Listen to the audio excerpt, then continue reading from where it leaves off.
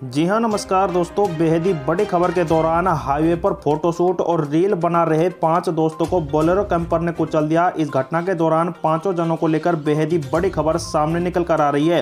बताया जा रहा है कि ये सभी दोस्त हैं और सोशल मीडिया पर फ़ोटो वीडियो अपलोड करने का शौक रखते हैं। पाँचों अलग अलग जाकर डेली रील बनाते हैं। दरअसल यह पूरा मामला राजस्थान के बाड़मेर ज़िले के धोरीमन्ना कस्बे का है। जानकारी में सामने आया की गुरुवार शाम सात बजे ग्यारहवीं में पढ़ने वाले गोविंद कुमार, हनुमान राम, सुनील कुमार, रमेश कुमार और बुद्धराम नेशनल हाईवे अड़सठ पर महँगे कैमरे से शूट कर रहे थे, तभी तेज गति से आई बोलोरो कैंपर ने सभी को भिड़ंत कर दी थी। इस घटना के बाद हाईवे पर चीख पुकार मच गई थी। वहीं हाईवे के ओवर ब्रिज पर इस घटना के दौरान लंबा जाम लग गया था। बताया जा रहा है की इस घटना के दौरान पाँचों जनों को धोरी मन्ना के अस्पताल में ले जाया गया, जहाँ से तीन जनों को गुजरात रेफर कर दिया गया, जबकि दो जनों को जालोर के सांचौर में रेफर कर दिया गया।